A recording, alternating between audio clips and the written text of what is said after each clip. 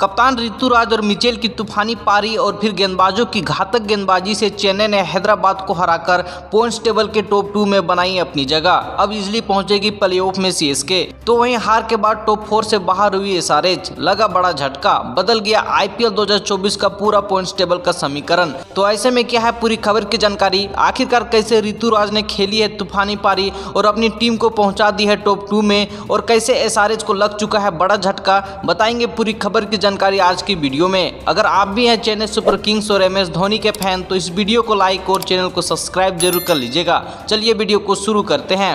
दोस्तों, आज आपको बताएँ कि आज आईपीएल 2024 का छियालीसवां रोमांचक मुकाबला चेन्नई सुपर किंग्स बनाम सनराइजर हैदराबाद के बीच खेला गया, जहाँ पर आपको बताएँ कि आज सनराइजर हैदराबाद ने पहले टॉस जीता और पहले गेंदबाजी करने का फैसला किया और चेन्नई को पहले बैटिंग करने के लिए आमंत्रित किया। तो वहीं इसके बाद दोस्तों, पहले बल्लेबाजी करने उतरी चेन्नई सुपर किंग्स टीम की शुरुआत खराब रही। कप्तान ऋतुराज के साथ ओपनिंग करने आए अजनिक्या रहाने एक बार फिर फ्लॉप रहे और नौ रन बनाकर जल्दी पवेलियन लौट गए, लेकिन फिर बल्लेबाजी करने आए डेरी मिचेल ने कप्तान ऋतुराज के साथ मिलकर ताबड़तोड़ बैटिंग किए। दोनों ने पावर प्ले में संभल कर खेले और 50 रन ठोक दिए और फिर दोनों ने अपनी अपनी फिफ्टियाँ भी पूरी कर ली। हालाँकि इसके बाद दोस्तों आपको बताएँ कि कप्तान ऋतुराज ने तूफानी पारी खेली, मगर दुर्भाग्य से सीज़न की दूसरी शतक से चुक गए और मात्र चौवन गेंदों में दस चौके और तीन छक्के से अंठानवे रन ठोककर नटराजन का शिकार हो गए। तो वहीं डेरिल मिचेल ने 32 गेंदों में सात चौके और एक छक्के से बावन रन बनाए। दोनों के बीच चौसठ गेंदों में 107 रनों की शानदार साझेदारी हुई। इसके बाद क्रीज पर बल्लेबाजी करने आए शिवम दुबे ने अंतिम में तबाही मचाई और एक चौकी और चार बेहतरीन छक्कों की मदद से उनचालीस रन ठोक दिए। तो वहीं एम एस धोनी ने पाँच रन बनाए। जिसकी मदद से चेन्नई सुपर किंग्स ने निर्धारित 20 ओवर में 212 रनों का अच्छा टारगेट एसआरएच के सामने खड़ा कर दिया। हैदराबाद की ओर से दोस्तों भुवनेश्वर कुमार, नटराजन और जयदेव उनादकर को एक एक विकेट मिला। वहीं इसके जवाब में 213 रनों के टारगेट को चेज करने उतरी सनराइजर हैदराबाद टीम की शुरुआत बहुत ही खराब रही। सीएसके के गेंदबाजों ने हैदराबाद के दोनों इनफॉर्म ओपनर बैट्समैन के साथ साथ इम्पैक्ट प्लेयर के रूप में आए। अनमोल प्रीत सिंह को भी पावर प्ले के अंदर चलता कर एसआरएच की तगड़ी बैटिंग लाइनअप को बिखेर दिया। ट्रेविस हेड तेरह रन, अभिषेक शर्मा पंद्रह तो वहीं अनमोल गोल्डन डक होकर चलते बने। जिसके बाद दोस्तों फिर बल्लेबाजी करने आए एडम मार्क्रम और नीतीश रेड्डी ने थोड़ी देर अच्छी बैटिंग कर टीम को संभाला, मगर सीएसके ने इन्हें भी ज़्यादा देर तक क्रीज पर नहीं टिकने दिया और पवेलियन भेज दिया।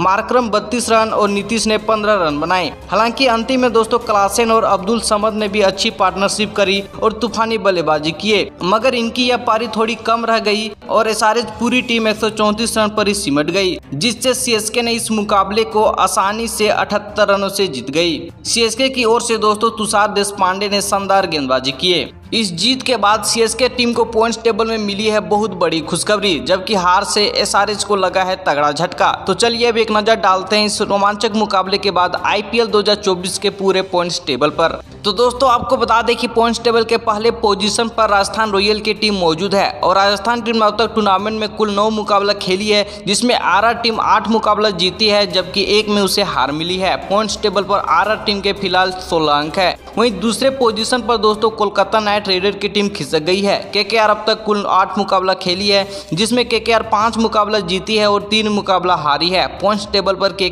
टीम के दस अंक है। वहीं तीसरे पोजीशन पर दोस्तों चेन्नई सुपर किंग्स की टीम आ गई है और सीएसके अब तक कुल आईपीएल में नौ मुकाबला खेली है, जिसमें सीएसके पाँच मुकाबले जीती है, जबकि चार में उसे हार मिली है। पॉइंट्स टेबल पर दोस्तों सीएसके टीम के फ़िलहाल दस अंक है। वहीं चौथे पोजीशन पर सनराइजर हैदराबाद की टीम खिसक गई है और एस अब तक कुल नौ मुकाबला खेल चुकी है, जिसमें आर पाँच मुकाबले जीती है और चार मुकाबले हार चुकी है। पॉइंट्स टेबल पर एसआरएस टीम के दस अंक है। वहीं पॉइंट्स टेबल के पांचवे पोजीशन पर लखनऊ सुपर जायंट्स की टीम आ गई है और एल अब तक कुल नौ मुकाबला खेली है, जिसमें एल एस पाँच मुकाबले जीती है और चार मुकाबला हारी है। एल के पॉइंट्स टेबल पर भी दस अंक है। वहीं छठे पोजीशन पर दिल्ली कैपिटल्स की टीम मौजूद है और डीसी अब तक कुल 10 मुकाबला खेली है, जिसमें डीसी पाँच मुकाबले जीती है और पाँच मुकाबले हार चुकी है। पॉइंट्स टेबल पर डीसी टीम के फ़िलहाल दस अंक है।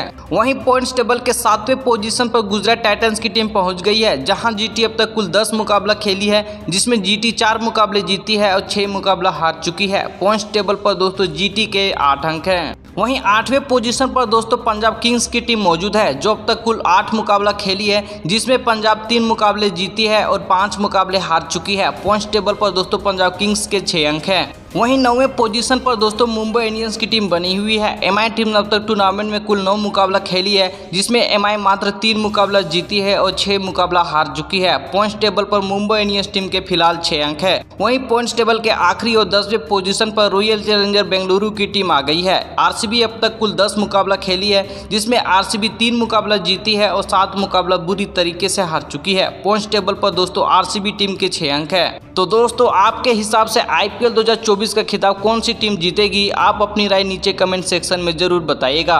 और आईपीएल 2024 से जुड़ी और ऐसे अपडेट पाने के लिए चैनल को सब्सक्राइब ज़रूर कर लीजिएगा। वीडियो देखने के लिए आप सभी को बहुत बहुत धन्यवाद।